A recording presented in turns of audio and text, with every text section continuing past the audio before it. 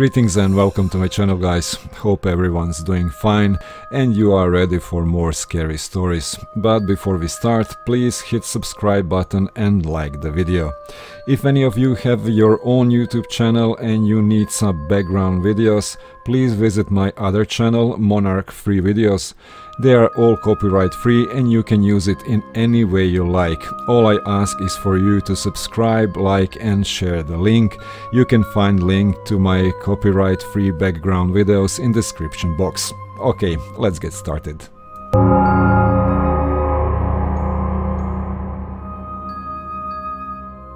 Something watching in the dark.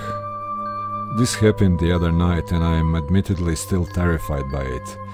I wasn't sure what to do, but I know lots of people post about this kind of things on Reddit, so I thought maybe I should post it and see what everyone thinks.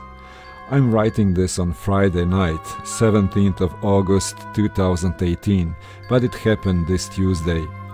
For some context, I work in an early shift and have to be up at 4 in the morning, so this all happened sometimes between 10 pm and 4 am.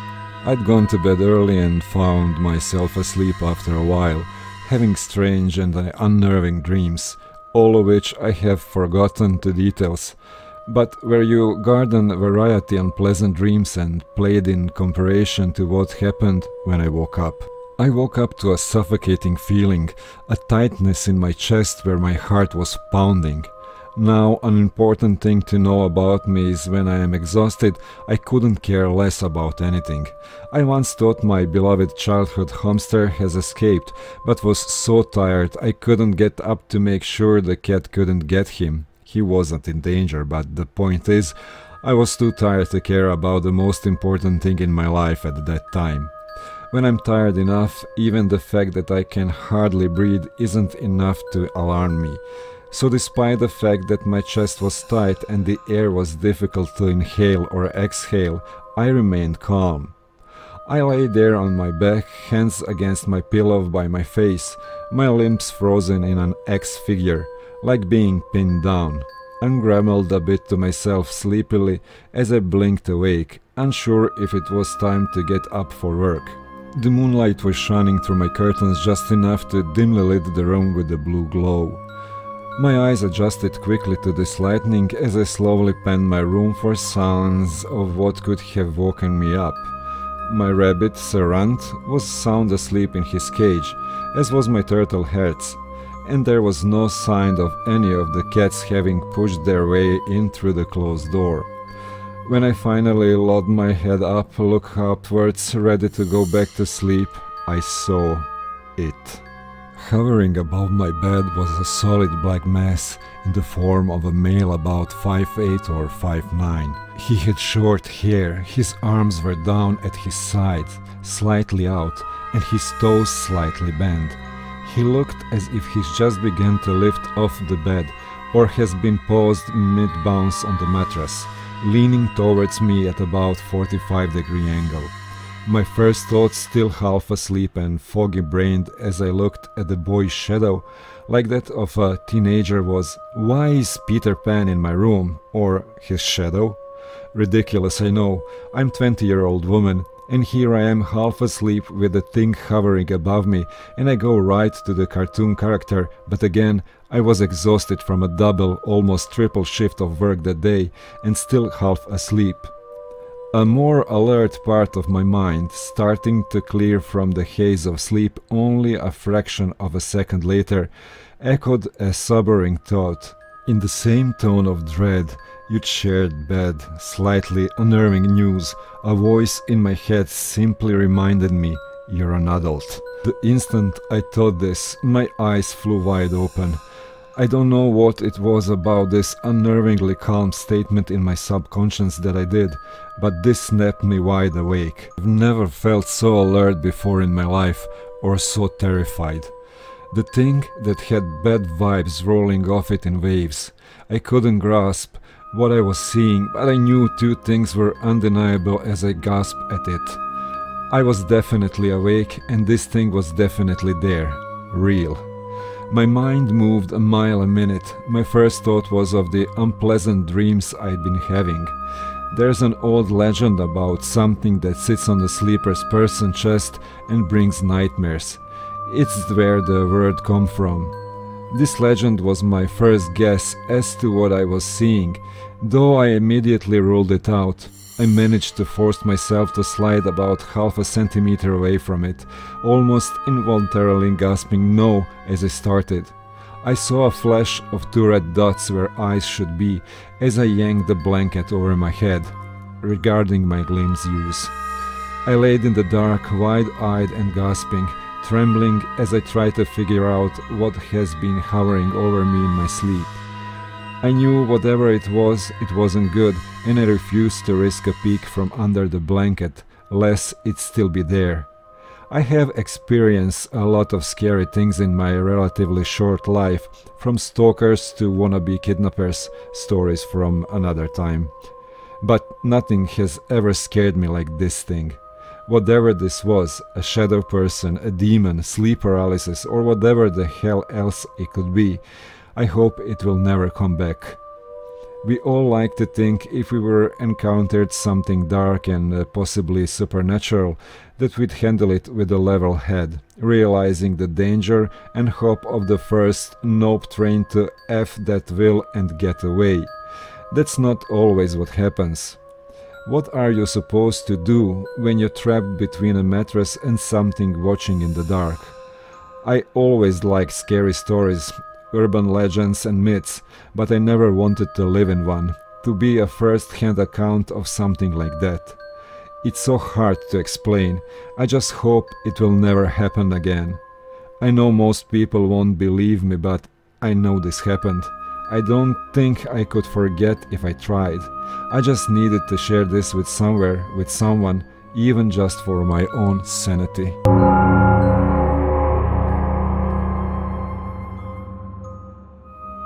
strange things happening. I've been living in the same house for 10 years and over that span of the time occasionally weird things happened. However, recently things have gotten very strange.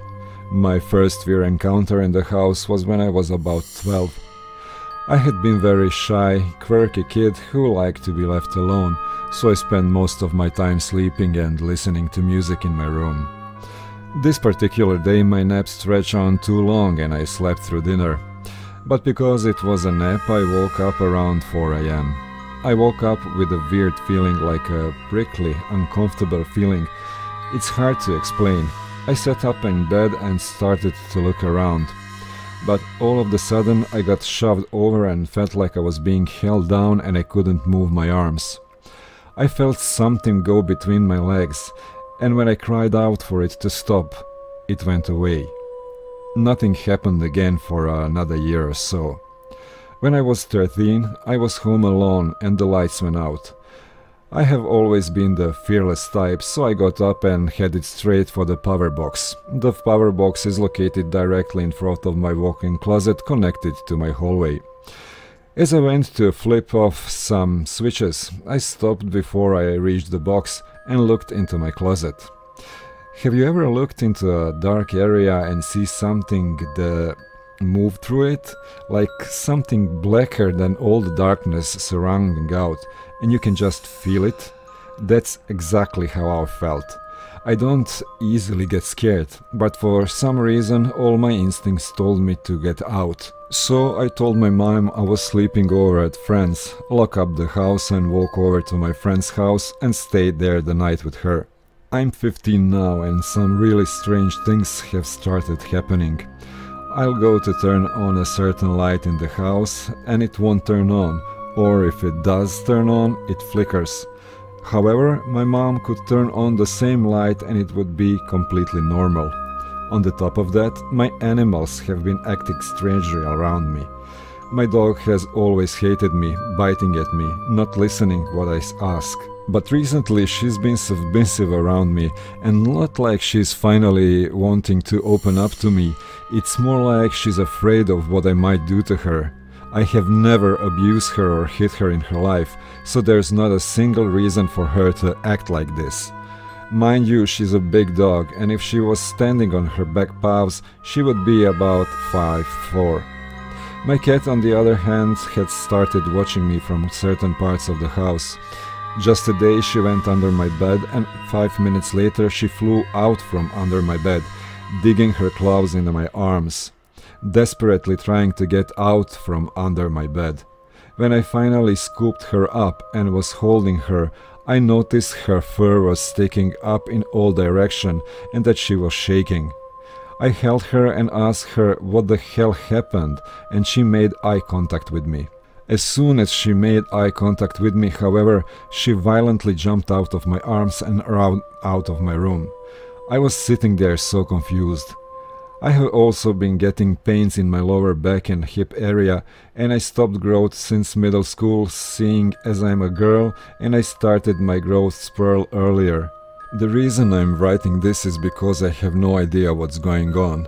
This just happened today and has been occurring for the past month.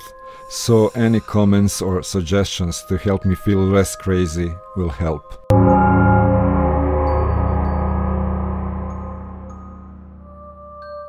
The Watching Shadow. Now, this may sound weird, but I could swear I was being watched. This happened last year, but I haven't forgotten it. It was the middle of the night. I woke up and looked at the time. It was like 2 am, and I just sat there looking at the roof. Then I turned around and I saw this thing at my brother's wardrobe. It was dark, but I could still see it there, like it was watching me.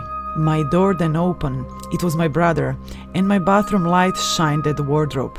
Then the shadow ran. It freaking ran into my brother's wardrobe, like it was hiding. The next day, I checked my brother's wardrobe. Nothing was there. This next part happened a few weeks later. I was still awake and I was looking at the end of my brother's bed, where a small light from our mini skybox was lighting up the part of his bed. I froze after the light went black for a split second. I know I didn't blink. It was like the shadow was watching me and ran back into the wardrobe as my room was moved a while after my last encounter, if you could call it that. It's been a year and my room was moved again, and for now I haven't seen that shadow again. But there's one thing I do know my room is apparently haunted. A woman apparently died and she now haunts my room, which I'm still in to this day. This is a true story. You probably don't believe me, but I needed to tell someone, even if they don't believe me.